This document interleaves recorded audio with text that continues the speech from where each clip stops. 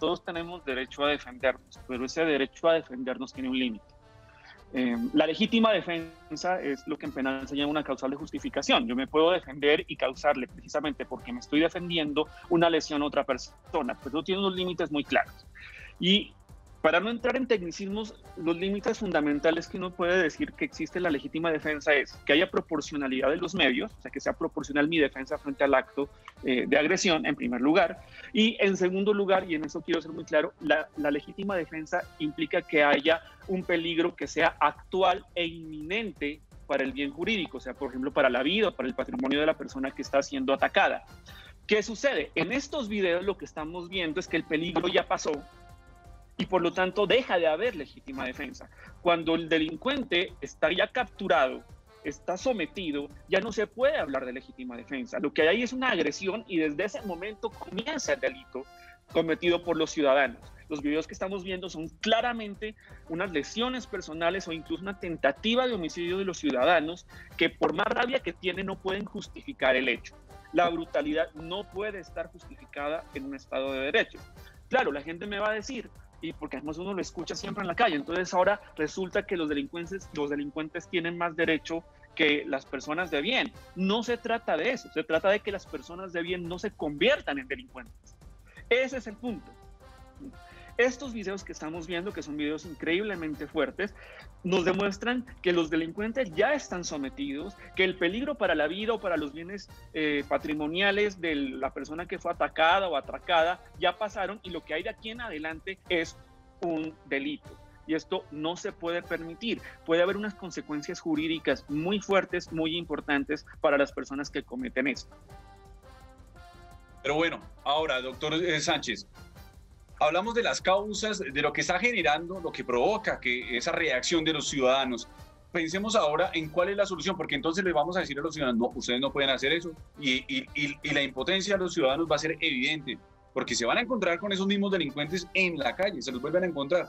Entonces, ¿cuál puede ser la solución? ¿Cuál es la solución a esto? El Estado está esperando que se reviente esta olla a presión. Eh, ¿Cuál podría ser entonces la solución? Hombre, mira, qué pregunta tan buena, César, porque acabas de preguntar la pregunta del millón de dólares. Si yo te contestara esa pregunta, no sería penalista, sino que sería presidente, estoy seguro. Porque tenemos que pensar en, contornos más amplios, más grandes. Te voy a decir una cosa, es increíble cómo se ve la indignación ciudadana cuando un ciudadano es atrapado robando a otro ciudadano en la calle de manera abrupta, violenta, un celular pero no hay una reacción ciudadana igual cuando un político, llámese congresista, gobernador, alcalde, roba mil millones del país y se compra un carro lujoso y sale con él y después lo capturan. Nadie ve la reacción ciudadana persiguiendo al político detrás de su carro para lincharlo. Y, y, si tú pones a pensar, César, ¿y ¿qué hace más daño en una sociedad? La persona que le quita a toda una juventud, a toda una generación, el derecho a los alimentos, el derecho a su comida, el derecho a todo lo que puede significar eso para su proceso formativo y educativo, o el otro que tal vez es una causa de ese fenómeno. Si vamos más atrás, ¿dónde está la reacción ciudadana? Pues la reacción ciudadana obviamente que es natural y es normal porque dice, este Estado no me está protegiendo, pero lastimosamente se queda en, se queda en, un, en una rueda de hámster porque al final esa propia sociedad, la rata que es la que hablan allá, es la rata que se está quedando, se está generando en un contexto social muy definido que puede ser el resultado de otro contexto social más macro, que creo que es realmente el que debe atacarse. Y entonces si me dice respuestas, yo creo que el tema viene siendo más político y también a nivel técnico. Te voy a decir una cosa, a, a nivel técnico procesal, el desgaste o la persecución de actos de estos, si bien es válida, si bien es justificado, a veces distrae de las verdaderas causas. Es decir, si yo tengo 100 pesos, 100 pesos de presupuesto para perseguir las causas verdaderas, yo las dedicaría a perseguir más fenómenos de corrupción que a concentrarme en estas figuras. En estas figuras lograría justicia eficaz, lograría eficiencia, lograría preacuerdos, lograría condenas, obviamente se necesitan castigos, pero enfocaría el presupuesto a atacar donde de verdad debemos atacar. Y aquí siempre nos vienen engañando y nos vienen diciendo que acá es donde estamos atacando, pero las verdaderas causas no se están atacando.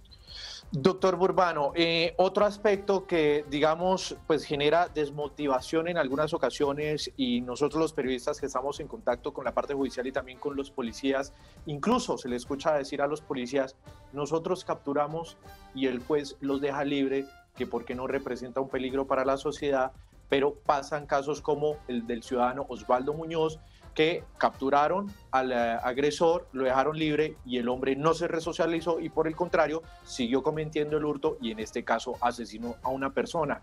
¿Allí qué? Bueno, eh, hay que ser absolutamente claro y también retomando algo que decía el doctor Sánchez, que la, la solución de fondo de este asunto no es la cárcel. Eh, a nosotros nos han engañado y, y, es un llamado a la gente para que no se deje engañar diciendo que es que esto se resuelve aumentando penas y metiendo, metiendo gente presa. ¿Qué quiero decir con esto? No estoy diciendo que esa gente no debe ir presa cuando hay los suficientes elementos materiales probatorios que indiquen que estas personas deban eh, ser merecedoras de una medida de aseguramiento, desde luego debe hacerlo. Eh, yo creo que aquí tiene que haber un, balance, difiere un poco con la concepción de mi colega en cuanto uno tiene que buscar un balance no solo en esos, esos delitos de la gran corrupción, sino en estos delitos que afectan también de una manera un poco más, llamémoslo así, directa, eh, sin que el otro no sea directo, desde luego, también al ciudadano, al ciudadano que va en Transmilenio, que se siente desprotegido. Esto también debe ser eh, perseguido y tiene que ser perseguido de una manera relativamente eficaz y asignarle los recursos necesarios para eso, desde luego sin descuidar lo otro. Pero el gran problema es que nos han dicho que esto se resuelve metiendo gente presa, aumentando penas en lo que nosotros llamamos el famoso derecho penal simbólico o el del populismo punitivo. Y la verdad es que esto no se soluciona así.